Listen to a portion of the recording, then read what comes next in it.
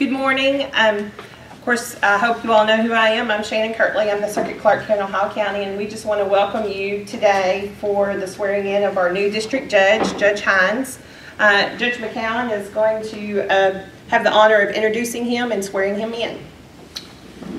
Thank you, Shannon. Uh, It's my honor and privilege to give the oath of office to Judge Hines today. Uh, As uh, you probably know, Judge Hines is from Edmonson County. This is a four-county district, uh, Butler, Edmonson, Hancock, and Ohio. Uh, We now have judges from Ohio, that would be me, from Hancock, Judge McCarty, and uh, Judge Hines from Edmonson County. And I anticipate that Butler County's slot may get filled in the next few weeks for circuit judge. But in any event, it's my honor and privilege to introduce to you J.B. Hines, who will now take the oath of office. Judge Hines, you want to come forward?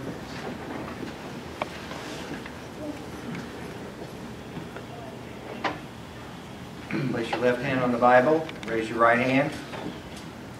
Do you solemnly swear that you will support the Constitution of the United States and the Constitution of this Commonwealth, and be faithful and true to the Commonwealth of Kentucky so long as you continue a citizen thereof, and that you will faithfully execute to the best of your ability the office aforesaid according to law, and you do further solemnly swear that since the adoption of the present Constitution, you, being a citizen of the state, have not fought a duel with deadly weapons within the state nor out of it, nor have you sent or accepted a challenge to fight a duel with deadly weapons, nor have you acted as second in carrying a challenge, nor were aided or assisted any person thus offending, so help you God. I do, so help me God.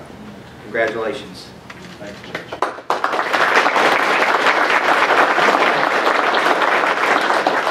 Good morning. Thank you all for taking the time to be here this morning. I feel so humbled and privileged to stand before you as the new District Court Judge for the 38th First Division. This room is so sacred to me as it embodies the very principles of our great nation.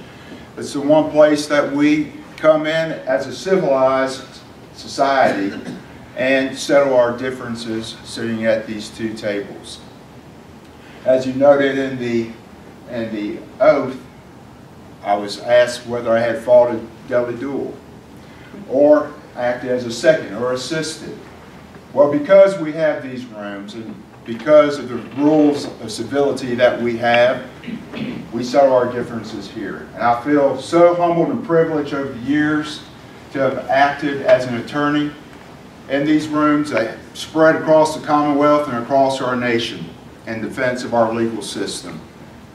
I appreciate the opportunity uh, to serve Ohio County uh, and the other counties of the 38th District.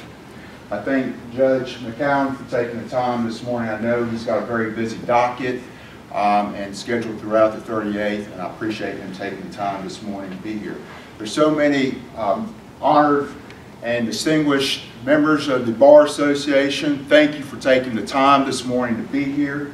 I appreciate that. And law enforcement, thank you, and everything that you do. Law enforcement is so important to the stability of our country and our, our community. Thank you so much. And to my wife, Ms. Shaska.